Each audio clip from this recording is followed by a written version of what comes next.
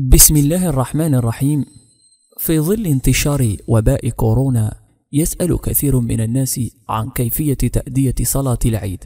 وفي الواقع صلاة العيد تؤدى بنفس الكيفية التي كنا نؤديها أي ركعتين إلا أنها لا تؤدى بخطبة بل فقط ركعتين.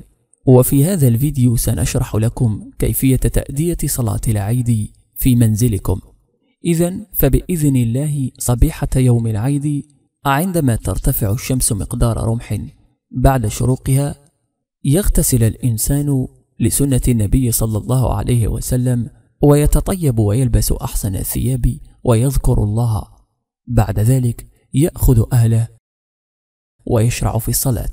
وفي الركعة الأولى تكون سبع تكبيرات بتكبيرة الإحرام وبعد تكبيرة الإحرام تستفتح بإذن الله تعالى بدعاء الاستفتاح في الصلاة وهو اللهم باعد بيني وبين خطاياي كما بعدت بين المشرق والمغرب ونقني من الذنوب والخطايا كما ينقى الثوب الأبيض من الدنس. وبعد ذلك تكمل باقي التكبيرات الستة.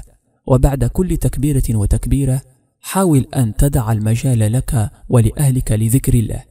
وقد استحب بعض العلماء أن يكون ما مقداره ذكر سبحان الله والحمد لله ولا إله إلا الله والله أكبر. بعد التكبيرة السابعة تشرع في قراءة سورة الفاتحة وسورة الأعلى ثم تتم ركعتك بشكلك الاعتيادي إلى حين الركعة الثانية. لكنك في هذه الركعة تكبر خمس تكبيرات.